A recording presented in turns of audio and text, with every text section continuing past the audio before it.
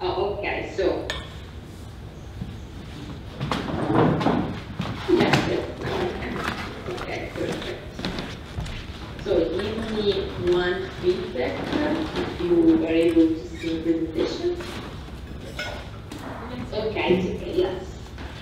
Okay, so first of all, um, good morning to, to everybody. I am uh, very happy to, to be here, also in uh, in distance. Unfortunately, the last week I had uh, contact with a positive uh, person, uh, so I am not able to here uh, to be here with all of you. So let's start my presentation about the role of MOCA Future Designers, which is the social enterprise in which I work uh, inside this uh, Capacitarte project. And I will show to you another uh, experience. But um, first of all, let me uh, introduce myself.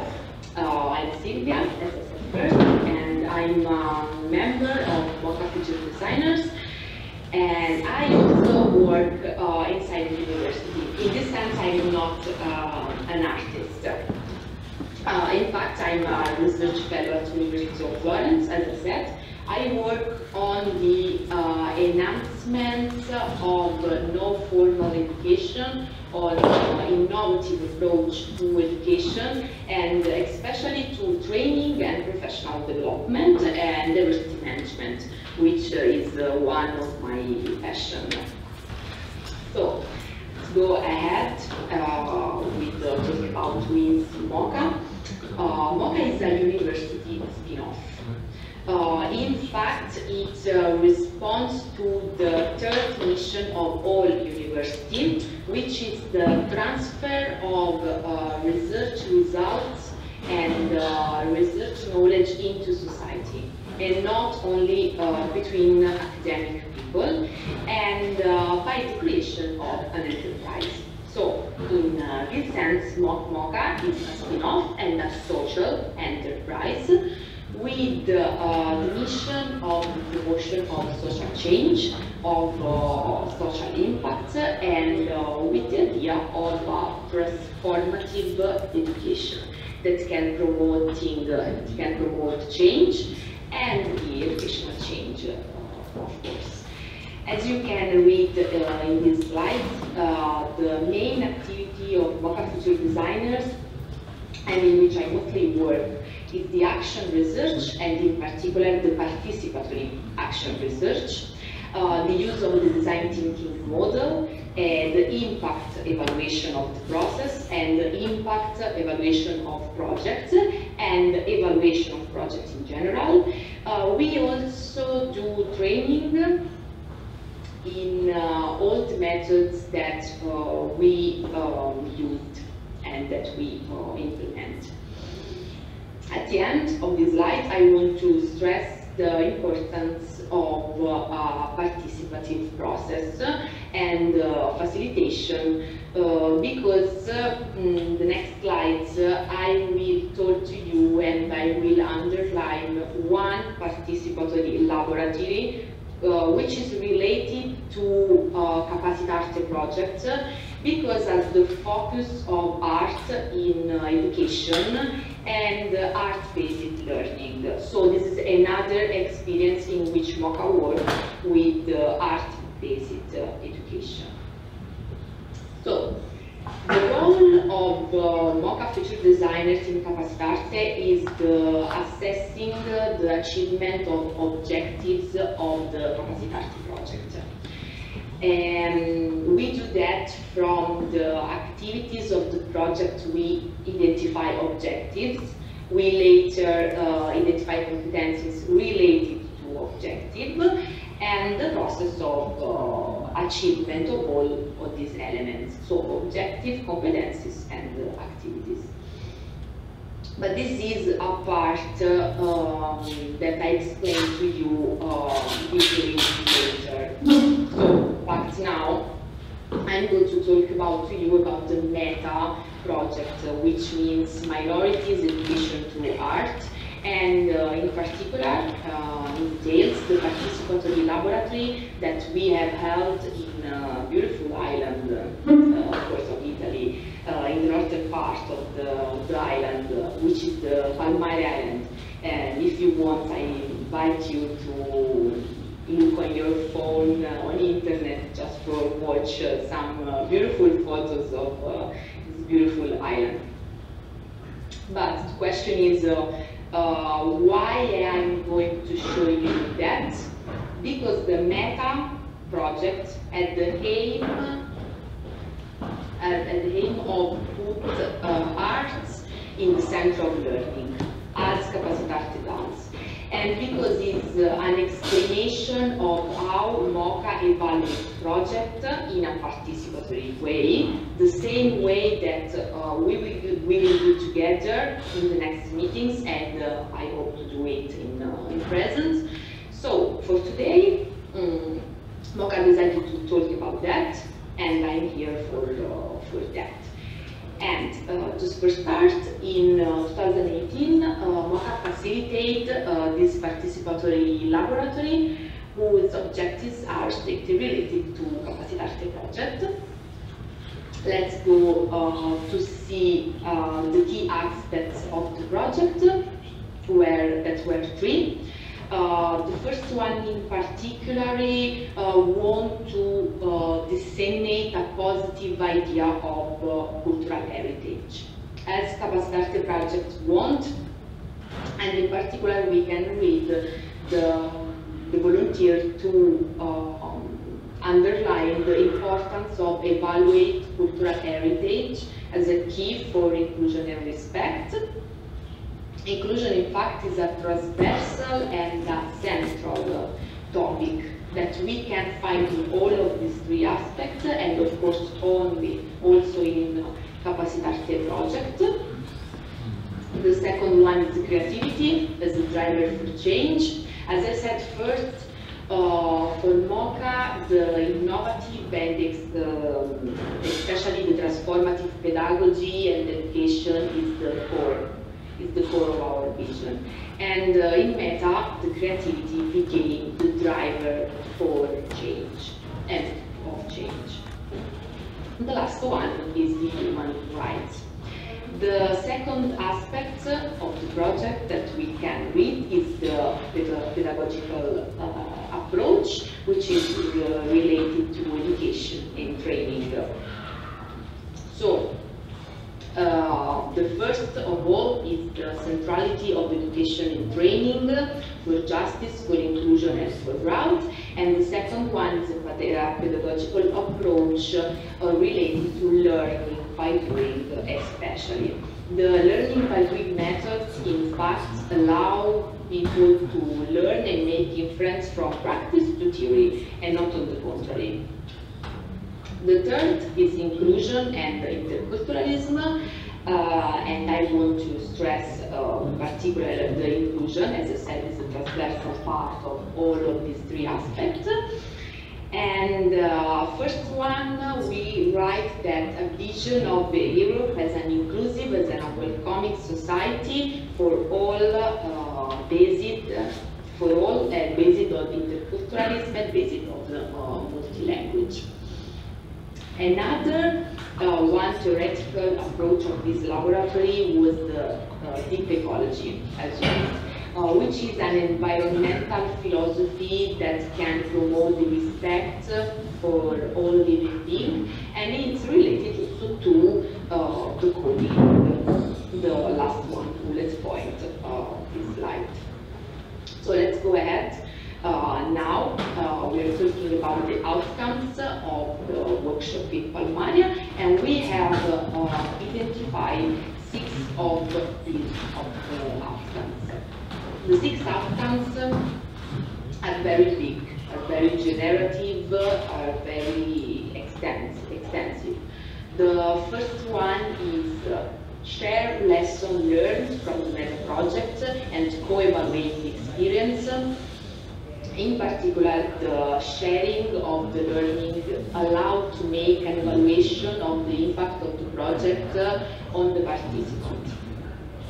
In the pink, uh, circle, we can read that uh, workshop can also aim to put in common any art-based methods and tools that can contribute to more inclusive classroom and to more inclusive also society.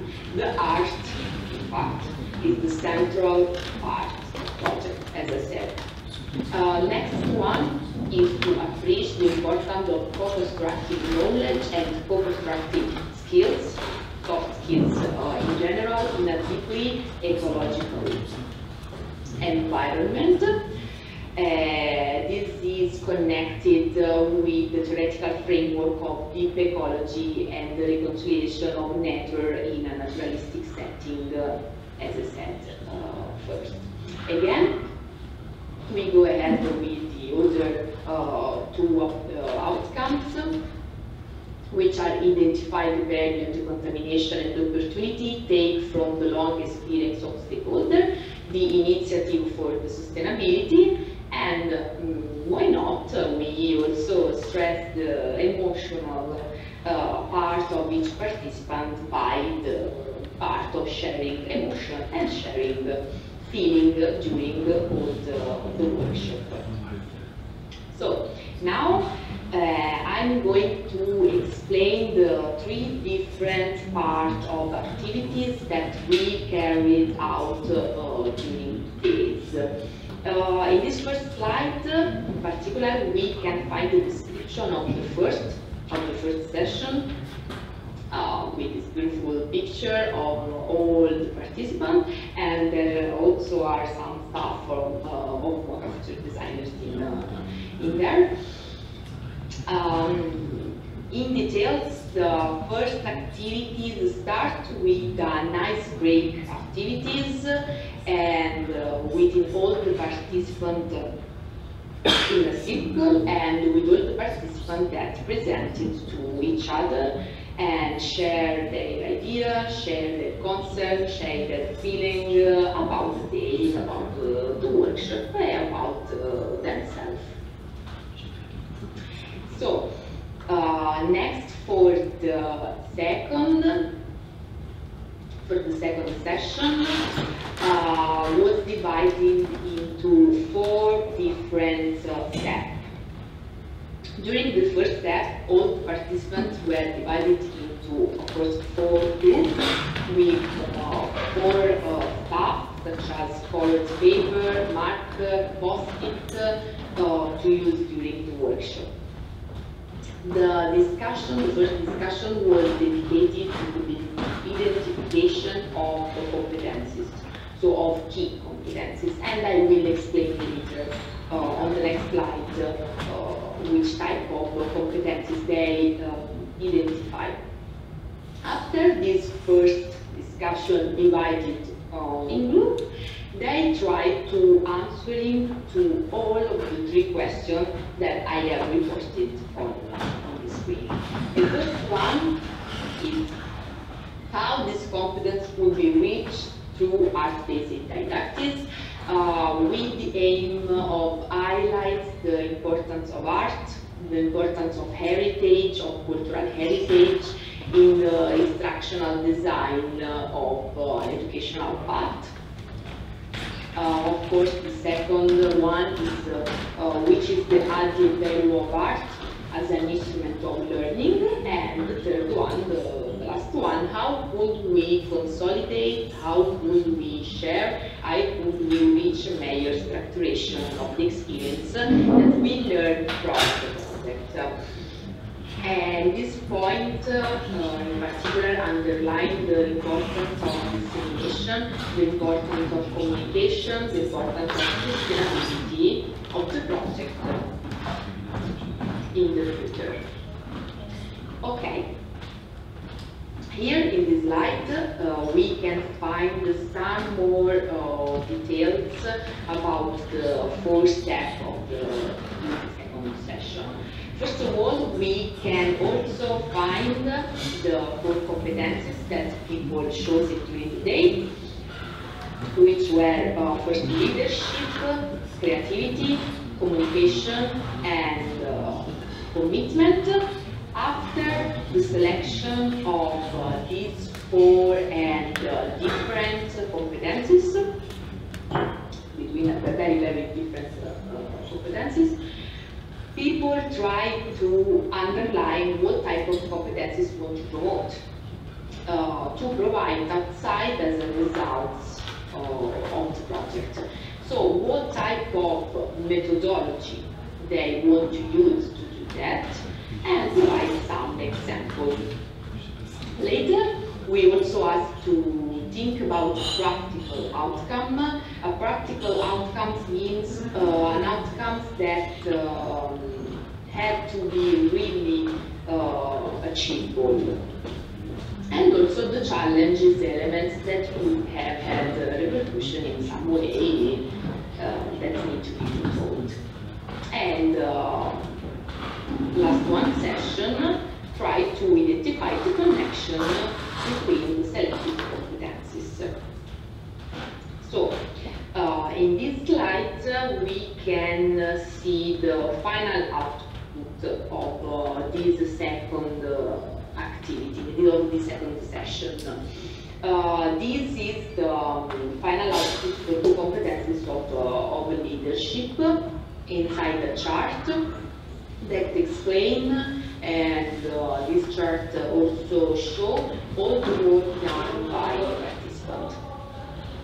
It's, uh, it's very interesting and uh, just to underline some part of the work done by the participant, uh, starting with what, what type of leadership uh, they want to provide, they want to promote dynamic and creative leadership, a new from common and pro-social uh, leadership, a new approach that, uh, that uh, does not look at leadership merely as a question of power. How to do that? From a vertical and individualistic leadership to a horizontal one, to a communitarian and a horizontal leadership with the promotion of sharing, of responsibility, of a creative challenge. Uh, some of key competences involved, uh, involved are uh, learning to learn, social and civic competences, also cultural awareness. Um, these are uh, three competencies of the European three of the eight competencies of the European citizenship. Uh, just to underline some uh, outcomes, we can read the activation of uh, usually passive children, preventing violence, bottom-up processes, and what type of challenge uh, the participants uh, underline in the leadership competencies. They write something about open class, which involves parents, actively involve in trained teachers and not an isolated learning environment, but an, an occasion to guide change in the everyday methods of education. So, um, just go ahead. In this slide, we can see both final output for the second and for the third competencies, as we can see for uh, uh, the leadership. So we have creativity and uh, commitment. In creativity, just to underline some part of this um, chart, we can see uh, what type of creativity, the expression one, dance, theater, music, sculpture, how to do that, supporting uh, different ways and models of expression by the construction of stories, by open imagination, uh, what type of uh, key competences involved, and they wrote uh, communication, laterally thinking, awareness, inclusion, of course, as well, and the empowerment. Just to go on the commitment, and I want to stress, uh, for example, what type of commitment. They wrote uh, facilitate the feeling of being part of the process as a team, so related to teamwork competencies, and step-by-step -step approach what type of uh, mm, key competence involved. They uh, identified creativity, empathy, self-awareness, empowerment, inclusion, and so on. With the experiences, which is very interesting, they write uh, uh, dance, music, singing, and all type of challenge, for example, and they write uh, they encourage the group to develop their own aim to reach as a group. So related also to the uh, teamwork uh, competencies. The last one, competencies, I have mentioned um, before and chosen by participants in the communication, and this is related to the need of uh, sharing, the need to uh, sharing the results, in particular of the project, and especially if uh, the project involves different partners, if different stakeholders from different places uh, and uh, countries. The communication, in fact, play a key role in the sustainability of the project and the visibility of the work and the visibility of the results of the project, especially in terms of uh, learning for the future and uh, in change uh, implemented by each participant, participant uh, involved. So in this chart we can read what type of communication and they wrote photos, painting, writing, listening, different type of, of art like sculpture, what type of key competences involved, they underlined the self-awareness, the outcome was um, changing balance between the good and the less students, creation of a trans and confident platform, dynamic of change, exhibition, what type of challenges, exchange, empowerment, work in a team as always, and, uh, and so on.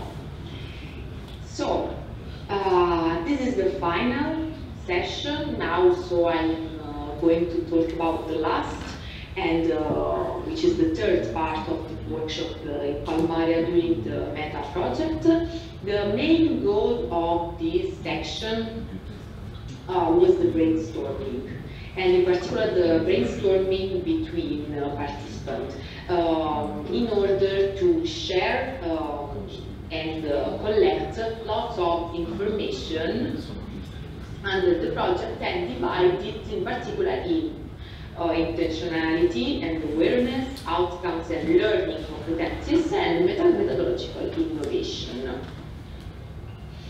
And in these slides uh, here, we can find um, last one information about the project, which explain the results of the, of the workshop.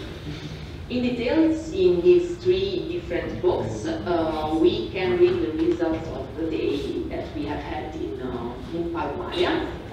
In the first box, we underline the role of uh, art inside education as a successful driver for proactive learning and for a proactive uh, uh, way to do education. And art, in fact, as an expression of cultural and personal heritage, is also an uh, instrument for an inclusive society. And uh, in fact, the last two bullet points in the first box focus on uh, results, uh, which focus more on competencies and less uh, in uh, activities, as you can read. In the second box, we can read the, development of an, uh, of an holistic uh, approach, uh, which means an uh, all-around vision, and which is also related to the systematic thinking, uh, which is essential also for education to sustainability. Uh, the second point is the building of a common framework that links different and uh, it is because we have people from uh, different backgrounds, from different uh, studies, work and so on, as you are uh, at this moment. The third one is uh, widening of possibility to educate to art and connecting and mixed intelligence uh, approach. And the last one, this second box, is learn how to plan according to the special needs of the class last one box that uh, want to stress uh, the partnership purpose, the network between school and art, and in particular between the school and artists. Uh, one important way to promote the development of uh, art-based uh, education and to develop art-based learning. Again, uh, with the networks, the second says, the second point says transfer and exchange network for the learning to art. And again, disciplinarity, uh, dynamic leadership, combination of different uh, art, um, such as sculpture, such as painting, uh, and history of art, and so on. Again, we also can uh, read an important lesson that people said to have learned, which is to motivate children. Uh, to motivate children, we need to have fun while developing capabilities and capacities, the artist and the teacher are the first that must have fun in what they do. And the final one, which is a new lesson, uh, that said to know how people with uh, interesting um, ideas experiment new educative practice to in Europe. Uh, more with the final results. in one hand, on the emotional side, with results about feeling, it is possible to notice lots of elements that emerge that emerges new, uh, which MOCA collects uh, with, uh, with post-its that I showed you um, first, which was uh, sharing a wonderful experience uh, with interesting people, developing new sustainability and creation diversity, uh, be more open to good vibration, sharing emotional design competencies. Um, in the other part, we try to summarize also the lesson learned in uh, four uh, different points, in uh, four different parts, and we collect that. And they say that the importance to actively involve children in workshop, the possibility to create workshop also for, uh, for teachers, learning through art must be integrated in order to change the ordinary education methods. This is very, very interesting part of the lesson work. And the education part is a way to experiment a new grammar of the living together and also connected to the learning by doing that I explained uh, to all of you. So, now I have finished to tell you and uh, report the main and uh, important elements emerged from the other experience on the art-based education and the importance of uh, enhanced art in uh, the three different contexts of education, which is which are formal, non-formal, and informal contexts. as I said first, MOCA has, of course, a role inside the project.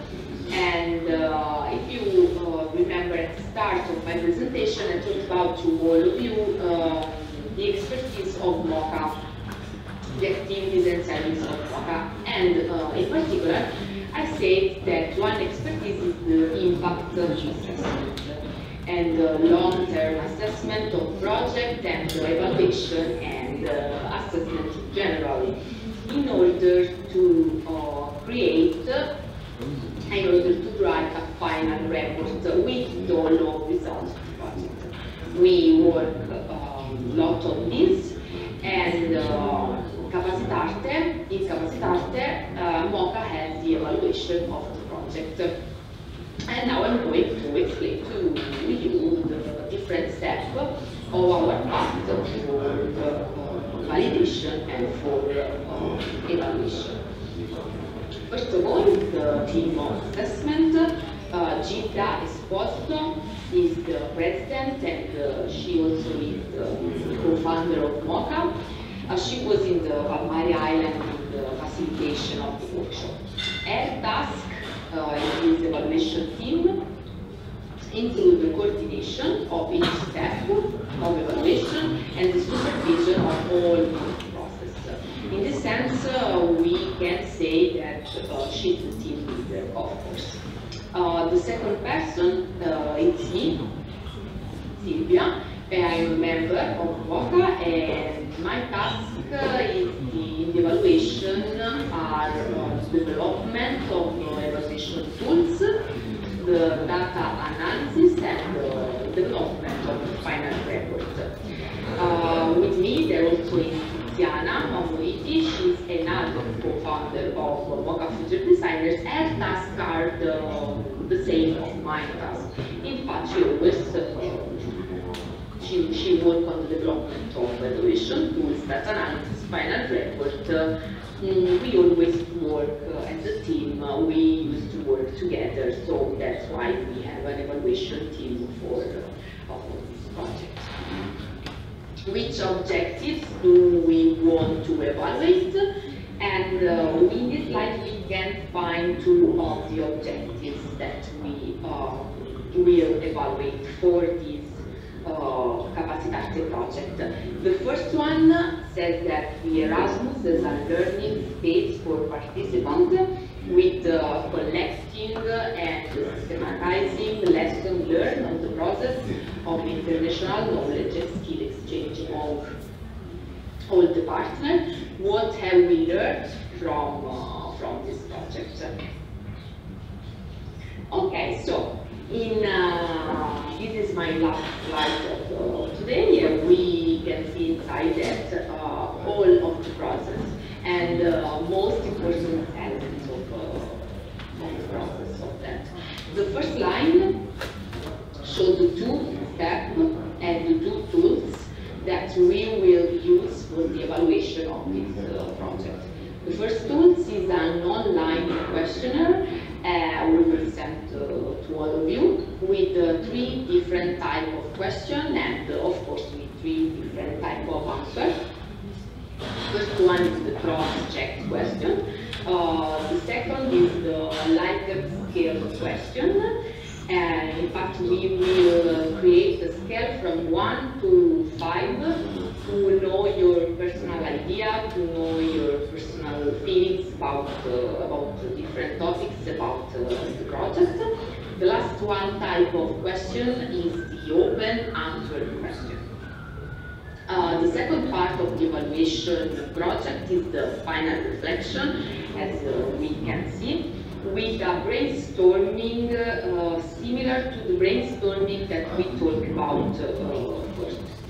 The final outcome of the process of the evaluation is of course the, the final report with the analysis of that evaluation which is then a mixed methods analysis with the qualitative and quantitative uh, data. Mm and uh, also with uh, lesson learned and recommendation for, uh, for action. in the recommendation for action, we want to we will want to underline the lesson learned, especially for the future, especially for the stability for of the project. At the end, in the last line, uh, we can see the timeline so the timeline of the evaluation process that MOCA uh, will do. We will start in mid-February to mid-April with the online questionnaire.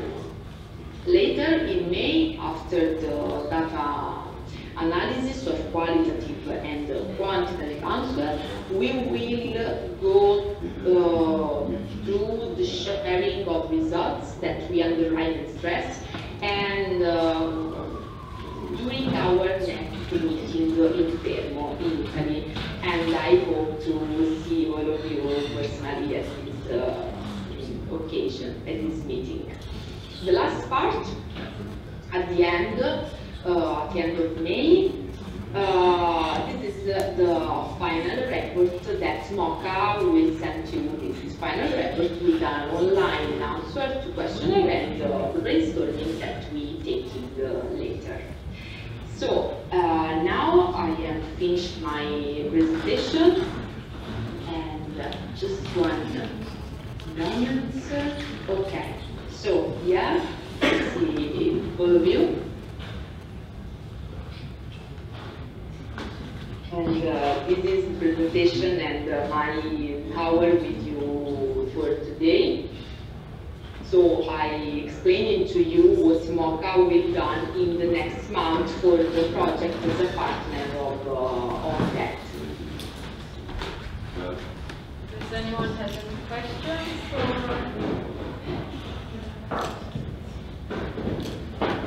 Is there a possibility to get all these information that you talked about online or Yeah. per mail? That we could read it through one more time, um, to know what we're doing, actually? Would be helpful. Um, I'm sorry because uh, there's some problem for me to Hear? to hear you, but for the first question that I understand that, uh, yes, I can share to all of you this presentation that I have done. I have just shared uh, my presentation with, um, I have it, yes. yes, okay. And I don't know if, uh, if you have done another question, but maybe not. Okay, yes or uh, Okay. another question?